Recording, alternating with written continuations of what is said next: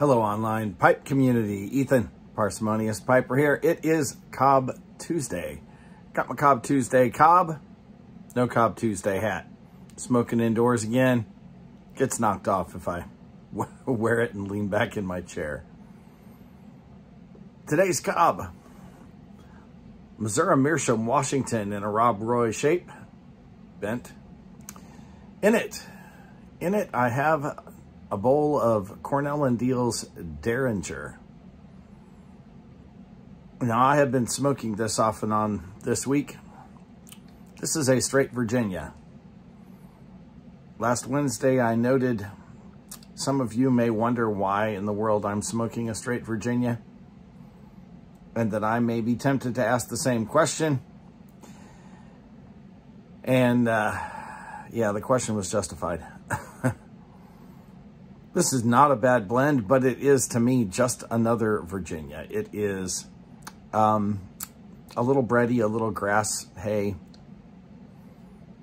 That kind of medium Virginia flavor. It just doesn't do anything for me. I like a little more oomph. When I think Virginia, and I think the Virginias that I like, it's Gawith Hoggarth Black and Brown Irish Twist. That, that's some Virginia, baby. But, Sean, Goes Cobb, thank you for the sample. As always, I need to keep trying Virginias. One of these days, my palate may shift and I may light one of these things up and go, ah, that's really good. Today is just not that day. Well, folks, it is official.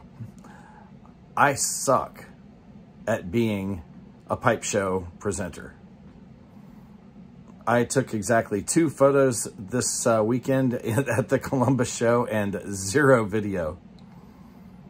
I was having so much of a blast uh, enjoying the company of other pipe smokers that I just didn't get around to it.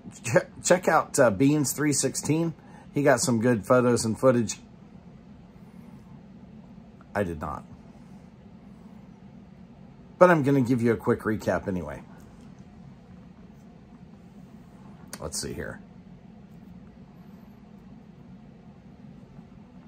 Friday night. Friday night, I did all of my shopping for the weekend. Mostly because uh, when I go to pipe shows, I very, very, very rarely ever find a Pipe by Lee, Briar Lee, or Gold Coast. And since those are the only pipes that I'm really super tempted to buy, I don't do a lot of shopping. I did rummage through all of the estate uh, bins. Didn't find a single one. Went over to Mark Ryan's table. Mr. Ryan, as many of you know, is the man who virtually single-handedly saved the Perique industry. After selling off his uh, tobacco company, Daughters and Ryan, a lot of those blends were discontinued by the new owners. Well, he had bags and uh, some tins, etc., of those blends. And I picked up, where did I put it? Right here.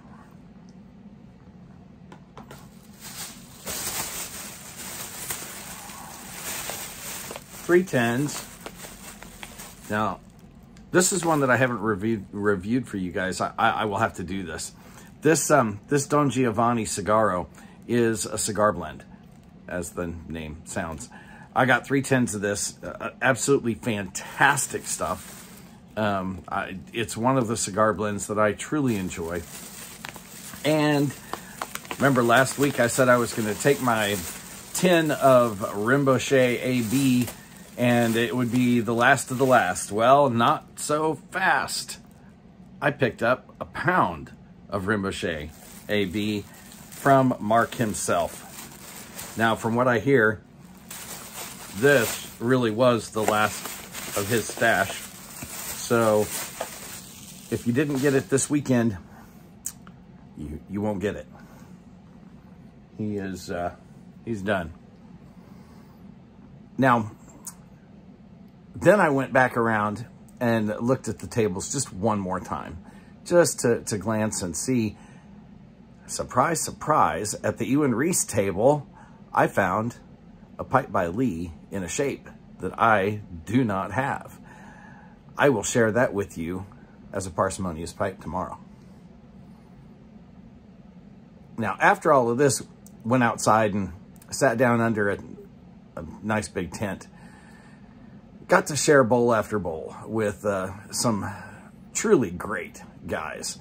Uh, some non-presenters like Greg Folk uh, were there, uh, but then guys that you're very well familiar with, Kane Rod Piper, uh, David from St. David's Pipes, uh, Brad the Bearded Piper, and so on. A bunch of guys were there on Friday night, and we sat around and swapped lies and and tobaccos, and just had a, a wonderful time.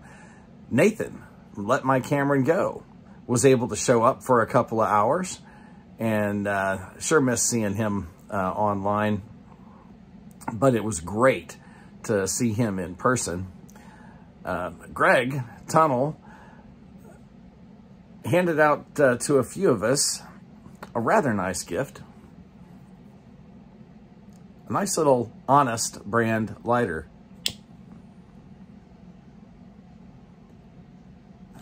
And yes, I'm already using it. And I'm not sure what this is. It flares right at the end when you let go.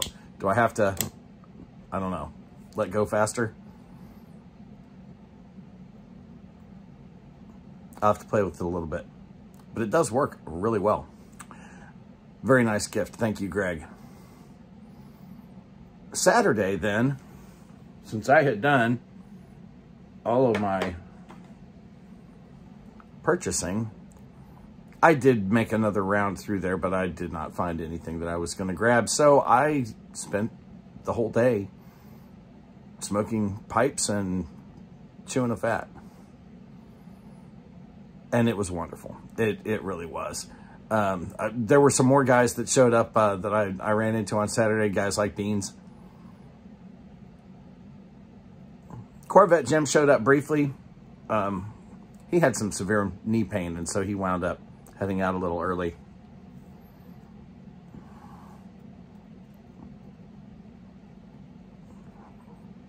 But uh, Eric, the blue-collar pipe smoker, was there continued his bad habit of gifting me lovely Larry Blackett tampers. This one, a 45 long Colt. And yes, I'm using it already. I love Blackett's tampers. I love to use Blackett's tampers for what they were designed for. Thank you so much, Eric. That was a great gift. Um, I'm trying to think what else. Uh, there were just, there were so many people, a, a lot of non-presenters um, uh, introduced themselves. Uh, however, none of them asked for that poker. We'll get back to that in a minute.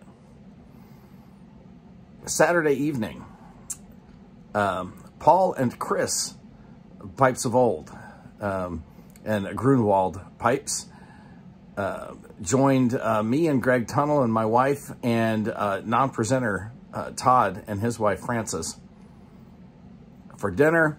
One wonderful dinner at uh, Schmidt's uh, German restaurant there and just south of the downtown area in Columbus.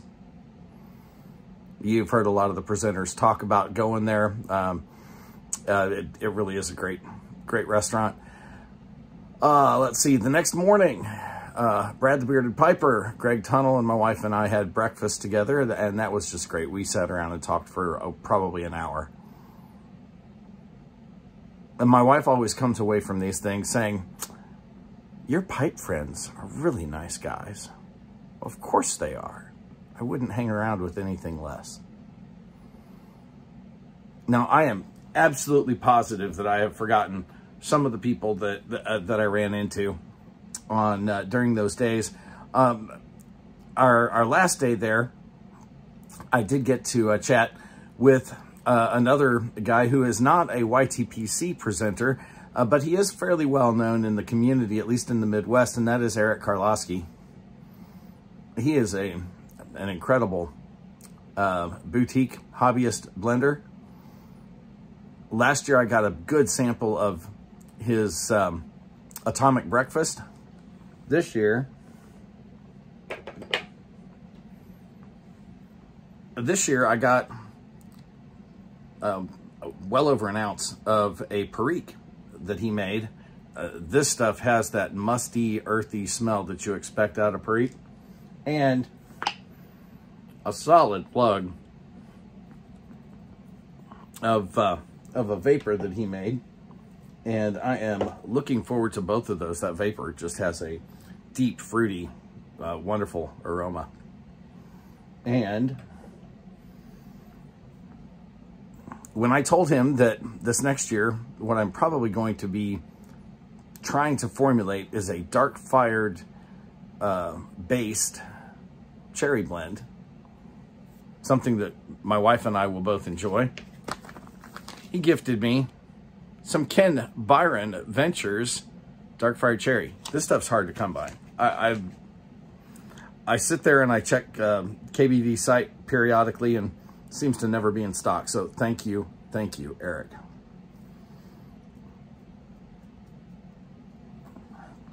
Now we come down to that panel poker. Nobody asked for it. So what am I going to do? I'm going to give it away. Of course I am. But I'm also going to give away uh, about a half a dozen samples, uh, probably two or three bowls full each of some of the blends that I have been reviewing over the last month or so, couple months. And one ounce each of my two blends. Secondhand Bookshop is my Dark Fired Kentucky based uh, Perique blend, which is sort of my my tribute to Haunted Bookshop. No, it does not contain Haunted Bookshop. Both of these blends are blended from components. The second one is Haunted Hatchards, which is my play on words. Hatchards is the oldest bookstore in London, so you have another haunted bookshop. This one, however, is a Kentucky-based uh, English. Um, I, the Latakia does not overwhelm the Kentucky, although it does compete at times. So I'll be tossing that in in addition to the pipe and the samples. What do you have to do to get that? You have to be the first person to comment, dang it, I missed the show. And then send me an email at erudder.nc gmail in order to get me your shipping information and we'll get that stuff out to you.